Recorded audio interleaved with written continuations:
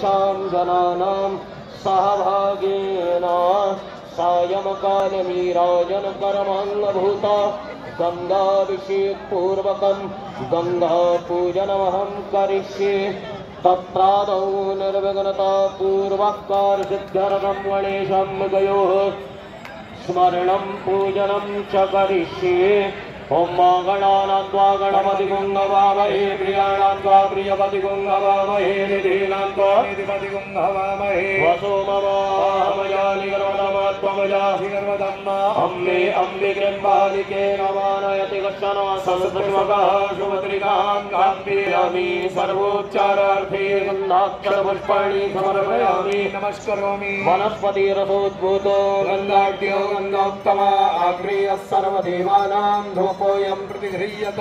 भक्त्यादीपं प्रयच्छामि। परमात्मने त्राहि